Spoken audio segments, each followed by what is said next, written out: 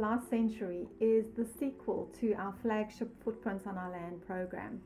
And it's a program that I think most families can really enjoy and relate to because at least parents and grandparents have lived through parts of the mm-hmm. last 120 years. And it's really this recent history that helps us to understand why our country is the way it is today, what problems we face, and it inspires us to look for solutions. Mm. But besides that, it's also like our, all our programs built around amazing stories, historical fiction, and we've really learned a lot as we've matured as writers of programs. And in this one, we have a granny who yeah. loves history and who teaches her grandchildren about interesting things. And so there are mysteries to solve, and there's um, hidden treasure that's really, really was there in our country's history that you're going to learn about. And it was only recently discovered.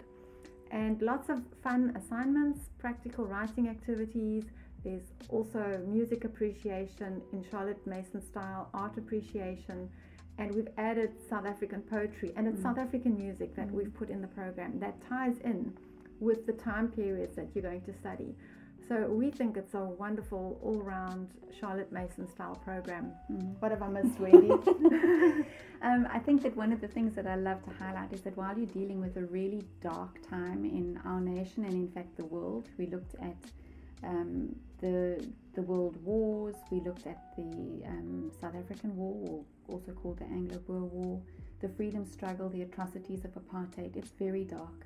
But what we have tried to do, and I think that we have succeeded, is Granny Stella, who is sitting with her twins, and she is explaining using things from her own home, whether it is a Krugerrand, whether it is a, a sugar spoon, um, whether it is uh, um, some street art that she's bought, how South Africa is still standing and still um, learning about one another and how to work towards reconciliation.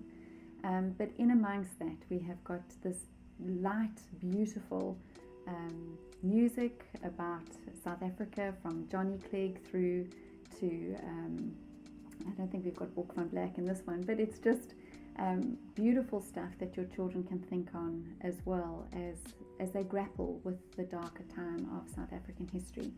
Um, the age range of the program is from 10 to 14 years.